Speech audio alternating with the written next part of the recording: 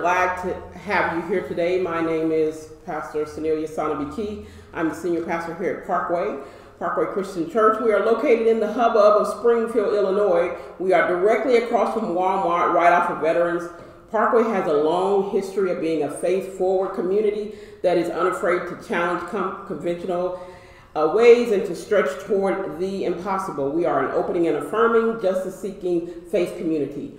We welcome all, and all means all. If this is your first time joining us, we're glad to have you here with us. If you've been with us for a while, we're going to encourage you. We're glad you're here. We're also going to encourage everyone to like, comment, and share uh, on your page. Will you join me in prayer, please? Lord our God, we fall short many times. And it is you who always bring us back to you when we turn your eyes to you and when we listen. Please place your word deeply in our hearts that we may carry out your will and take your love and grace to all people. Amen. Let's take a moment to remember our joys and concerns that are in our newsletter. I want to encourage everybody to please continue to send those in. Uh, I read them. It's a good way to help our church stay connected so we want to thank you for sending those in. Please join me in the pastoral prayer. God is faithful to all of God's promises and loving towards all that God has made. Every day we praise God from now into everlasting. Great is God and most worthy of praise. God's greatness no one can fathom. One generation will commend your work to another. They will tell of your mighty acts. They will speak of glorious splendor and of majesty. We will meditate on your wonderful works. They will tell of the power of your awesome works, and we will proclaim your great deeds. We confess that shame keeps us from being vulnerable and authentic. We confess that we are prone to pretense. We confess that our faith is weak sometimes, and we run from you instead of running towards you. We confess that giving up is sometimes easier than wrestling. We are thankful that you are with us in the valley. We are thankful that you welcome our questions.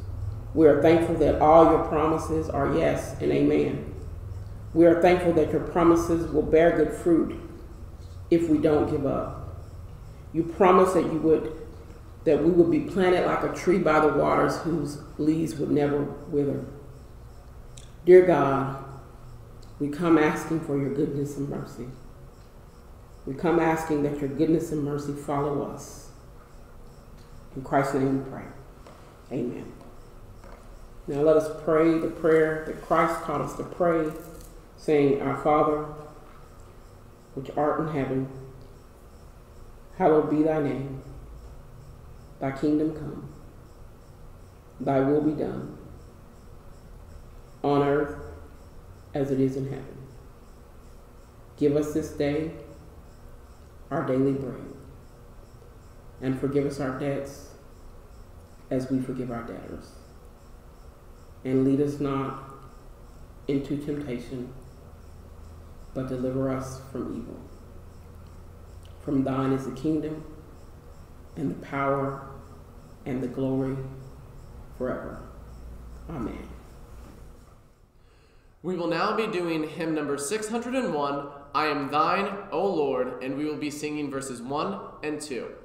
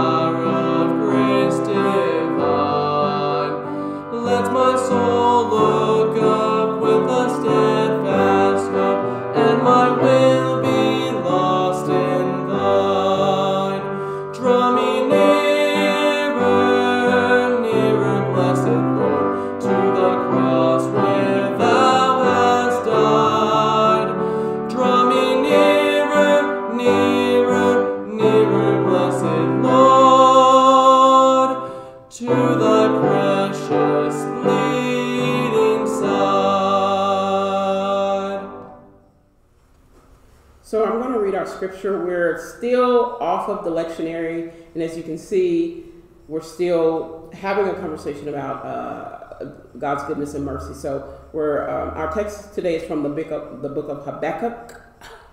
It should sound like you're kind of coughing. Habakkuk. Okay, so we're going to look at uh, chapter one, verses one through four. An oracle that Habakkuk the prophet saw.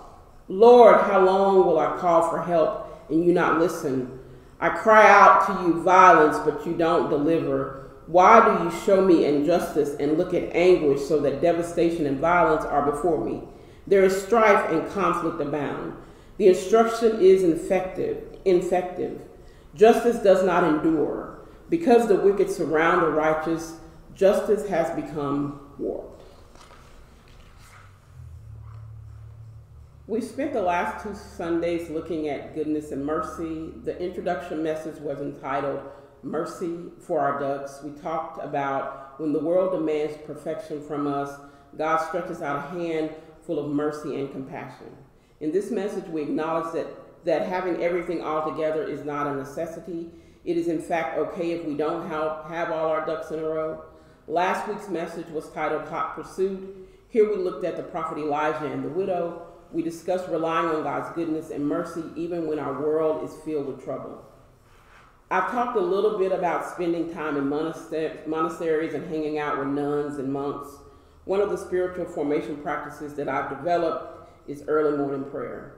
I have a little prayer ottoman, a little altar.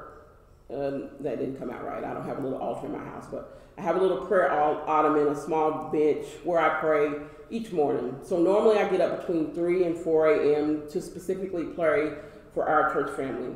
I have a copy of the newsletter with all the joys and concerns, and I pray over each one um, and give thanks for each one. This is a ritual usually um, that helps me ground for sermon prep. By Wednesday morning, I have some direction as to where we might be headed on Sunday. So this Thursday, I was fairly certain, but after Saturday morning, prayers, I was fairly certain that I was not so certain about Thursday morning certainty. I felt strongly that we needed to continue our conversation on goodness and mercy. So if you have not put your signs up, I want to encourage you to uh, continue to put your signs up and then post your pictures on our Facebook page. This is important. Um, I don't have to rehash all that is going on in our world. There are plenty of reasons to be discouraged. There are plenty of reasons to doubt and fear. That is why it's so very important to keep the promises of God close to our heart. When the world is raging and spewing hatred and stoking fears, we will be tempted to respond. I was watching a documentary about how not to respond during times of conflict and strife. Its main point was not that every not everything requires an immediate response. That sometimes even if you're right, it is best to wait and reflect on who you are and who you want to be at the end of the day. When it's all said and done, what type of person do you want to be? Hot tempered, arrogant, hostile toward change, abrasive, dominating? Who do you want to be? Christ like, forgiving, understanding, vulnerable, adaptable. That is why the promises of God are so important. They act as a touchstone so that we are ever reminded that we are called to be the light in the world. If we have not hid the promises of God in our heart, if we have not meditated on the promises of God, our responses could sometimes cause more harm than good. Our responses either reflect the light or it causes our light to diminish. One of the Psalms put it this way Thy word have I hid in my heart, that I might not sin against thee. Or the way I interpret it, I hold on to your promises so that I won't act like a fool in the face of arrogance, prejudice, and injustice. Again, a really good reason to have a goodness and mercy sign up and post it as a touchstone to remind you and others to let your light shine. Second Corinthians states that all the promises of God are yes and amen. The promises of God are a sure thing. Listen, heaven and earth might pass away, but the promises of God will remain the promise that goodness and mercy shall follow you all the days of your life. That is a promise. That is your insurance that no matter what, everything is going to be okay. I know what you're thinking. Pastor Sana, I have my sign up. I got the promises in my heart and on my lips, but it looks like things are going from bad to worse. I know what you're thinking. But sometimes even good insurance doesn't cover everything I know what you're thinking. Pastor Son, am I supposed, what am I supposed to do when life is challenging the promises that I'm holding in my heart? Pastor Son, what am I supposed to do when the sign on the fridge says goodness and mercy, but the sign on the front door says all hell is breaking loose? Pastor Sana, how do you explain goodness and mercy to a heart that is broken? How do you explain goodness and mercy to a marriage that has been destroyed? How do you explain goodness and mercy to long term illness? How do you explain? I believe in the promises. But right now, my problems seem much, much bigger than any promise. This is not a typical sermon. This is more of a teaching slash conversation. Some things we have to live into and grow into. Translation there will be no pretty bow at the end of the sermon. Habakkuk is an Old Testament minor prophet. Everybody say minor prophet? Minor prophet, thank you. He wasn't a major prophet. He was he was in the minor leagues. Ha ha ha. Y'all saw that coming. He lived and wrote about 600 years before the birth of Christ. He was a very different kind of prophet prophet speaks to, to people on behalf of God. Habakkuk was not an ordinary prophet. He didn't speak to the people on behalf of God, but Habakkuk spoke to God on behalf of the people because he did not like what God was doing. Judah had been blessed, and now there was corruption and deception. And instead of prospering, they were hurting and they were in poverty and he just unleashes on God. Habakkuk has a come to Jesus conversation with God. And he is asking the very same questions that so many of us are asking today. He wanted to know God, Why does it appear that we have more problems than promises? God, I've got your promises in my heart and on my lips and posted on my fridge, but my family, but my job, but RBG, John Lewis, Kobe Bryant, COVID, Christmas and social distancing, God, I can't. God, I'm struggling with the choices and decisions that you're making. I know you could do something about this, God, but you're not. And I don't understand why aren't you coming to our aid? There are three chapters in the book, and we're going to look at the first verses in chapter one. The first verse said, says, Lord, how long will I call for help and you not listen? I cry out violence, but you don't deliver. Sound familiar? Essentially, he has received a prophecy. The word prophecy means utterance, and this is a doom and gloom utterance that he has received. It's doom, it's gloom, it's a, it's it's it's burdensome and and it's weighty on him. And so he hears it and he's like, I don't like what I'm hearing. He received this and he goes to God. Um, he intercedes. He goes to God on behalf of the people and he asks questions in verse two. How long, O Lord, must I call for help, but you do not listen? How much, how long, O Lord, do I ask for to be saved and you do not save? Why do you make us look at such injustice? Why do you tolerate wrongdoing? What I love about Habakkuk is that he's raw. He's real. His name tells a story. The name Habakkuk means to embrace and wrestle. Habakkuk is doing everything to embrace who he knows God is, but because he's, what he sees doesn't line up with what he believes, he's wrestling to embrace this God. He's wrestling to embrace this God. He's wrestling to embrace what he knows about God and what he sees. And how can I hold on to God and hold on to faith and hold on to hope when everything around me is saying a different story? I want to reiterate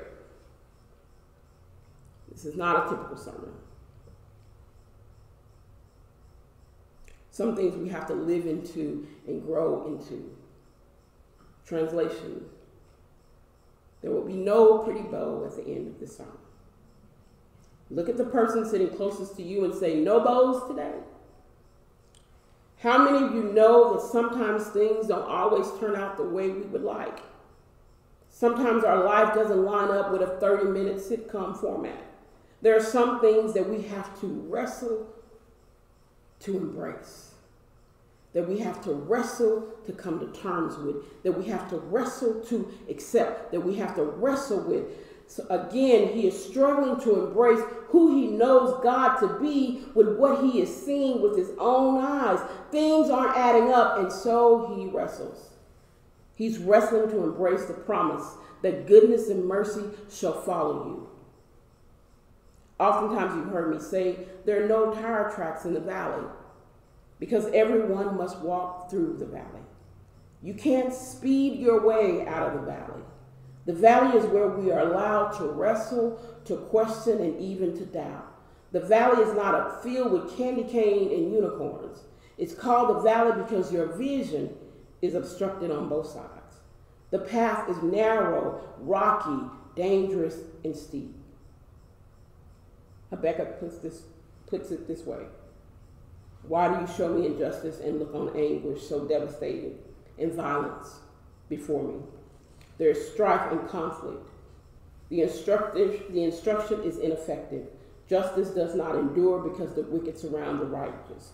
Justice has become warped. Habakkuk is troubled by God's seemingly absence or inaction. This is a classic sign of someone who is in the valley. The valley is a place where we go to get real with God. It is a place where our faith is forged and molded. It is a place where we cry out, God, where are you? If I were God, have you ever said this? If I were God, I would just. God does not punish us for having a faith crisis or a crisis of belief. Sometimes life can crush you to the brink. Sometimes Outcomes are never what anyone could ever imagine, no matter how thought out and well planned. No one saw it coming. When life has knocked the breath out of you, most people believe that you only have two options pretend like everything is okay, just deny anything is wrong. Oh, we're fine. Oh, be positive. Oh, pretend like everything is okay. Is okay. Or another option, surrender to hopelessness. I'm done. I'm done with you. I'm done with it. I'm done with church. I'm done with faith. I'm done with believing for anyone anything better. I believe in a third option, a bit harder option. Wrestle to embrace. Wrestle to hold on to the truth that we know about God no matter what. We walk by faith and not by sight. God is not asking us to pretend that everything is going to be great. God is not asking us to deny what our hearts are feeling. God is saying to all of us, if you find yourself in the valley, it is okay to be real with me. It is okay to be vulnerable with me. It is okay to be angry. It is okay to feel and ask tough questions. I know what you're thinking. Pastor Sean, are you saying it's okay to question God's motives, actions, and intent? Yes, yes, yes. God is not less because we vocalize that we don't understand. We are not faithless because our hearts are heavy. The only way out of the valley, the only way to really discover who we are is to ask tough questions and then sit and wait for God to answer. This is the word of God for the people of God. Thanks be to God. Hello, my name is Sharon Holmes, and I am privileged to serve as your elder this morning. I'm going to start with a joke if you don't mind. Knock, knock. Who's there? Control freak! I am a control freak. Always trying to be the best and make sure that everything is on course to go as planned. Followed the orderly course, and that I've spent so much time willing and per perfecting. Impatience and being a control freak are my greatest weaknesses. They are also the highest wall that I build that gets in the way of getting out of the chaos in my head and let God lead. I'm a military brat, and growing up, order was the best way to ensure that things go as planned. In the military, that mindset saves lives. In our spiritual and day to day lives, it can get in the way. Roger recently said something to me, and I was actually listening, that brought light to light how my OCD about tidiness around the house and the need for everything to be in its place at all times hurts not only me, but those around me as well. When we host a gathering, I immediately rush to clear the table and get the dishes to, into the dishwasher rather than spending time focusing on those present. I miss out on the caring and conversation that come with spending time with the amazing people that sit around the table. When the guests are gone, I may have a clean kitchen, but I am exhausted and my heart is left empty because though everything was perfect at the meal, it was missing something. That something was me. Roger was right.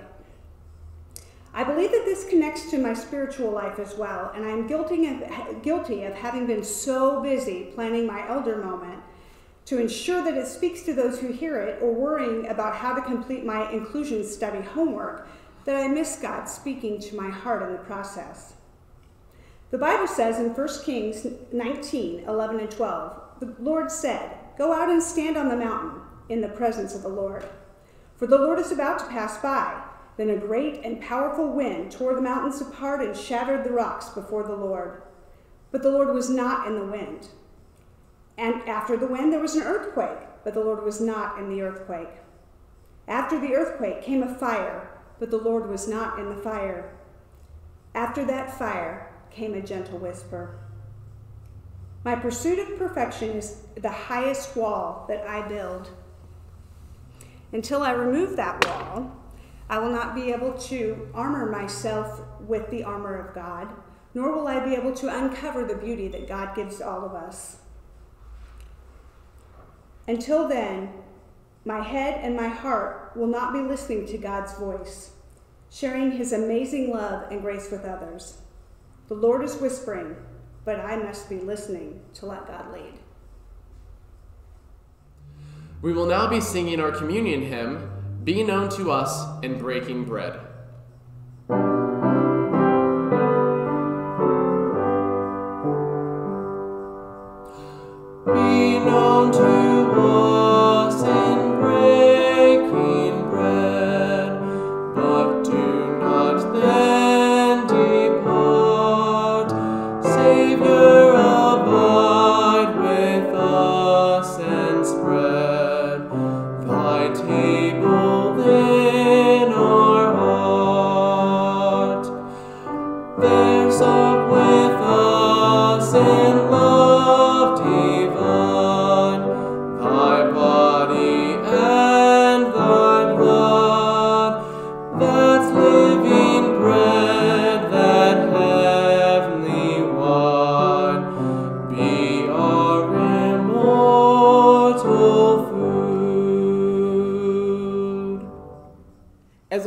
As a disciples of Christ Church, uh, we celebrate communion every Sunday, and um, everyone is welcome. We have an open table, so that means anyone who wants to participate in uh, communion is welcome to participate. So if you're at home, we're going to invite you to also get your elements, whether you get bread or wine or or water and crackers or juicing crackers, whatever you have handy, to um, prepare your table, and we will uh, do the communion.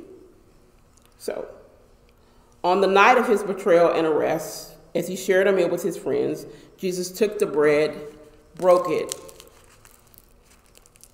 gave thanks, and said, This is my body broken for you. Do this in remembrance of me. And then he took the wine.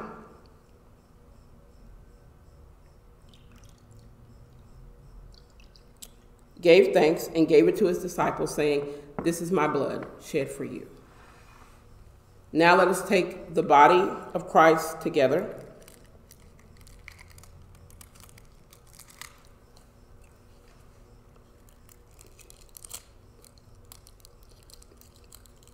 And the blood of Christ together. Amen.